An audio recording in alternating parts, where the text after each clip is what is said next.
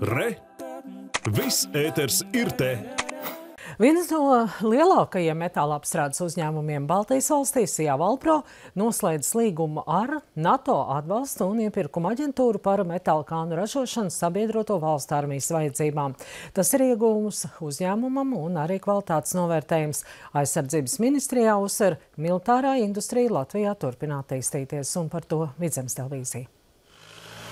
Metāla apstrādes uzņēmums Sijā Valpro metāla kānas armijas vajadzībām ražo jau no 2000. gada un kopumā saražots vairāk nekā 1 miljons kānu.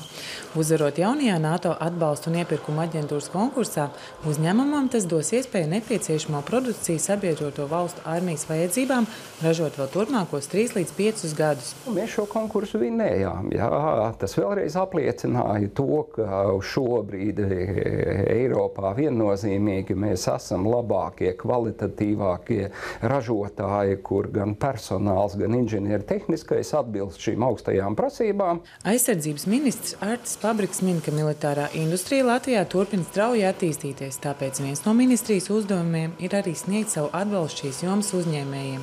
To īsteno, izsniedzot dažādas drošības certifikātus, kas ļauj militārās industrijas uzņēmumiem piedalīties NATO iepirkumos. Tāpat ministrija nodrošina informācijas apmaiņu ar NATO un vietējiem uzņēmējiem par to, kas nepieciešams un ko Latvija ir gatava piedāvāt.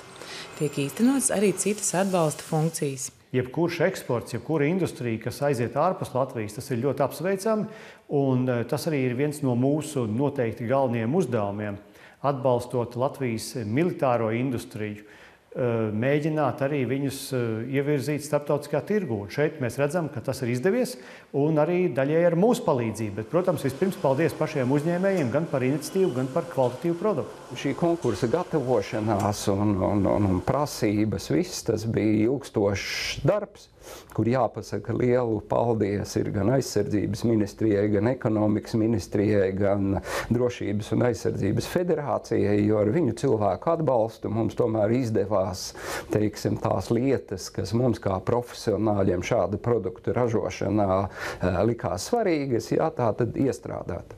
Uzņēmumā Sijā Valpro piebilst, pirmais pasūtījums jau ir saņemts un šobrīd uzņēmums strādā pie tās sagatavošanas. Sijā Valpro pagaidām ir vienīgais uzņēmums no Latvijas, kas uzvarējis šādā NATO apgādes un loģistikas aģentūras konkursā. Elīna Upīt, Reinis Žagariņš, Vidzemes televīzija.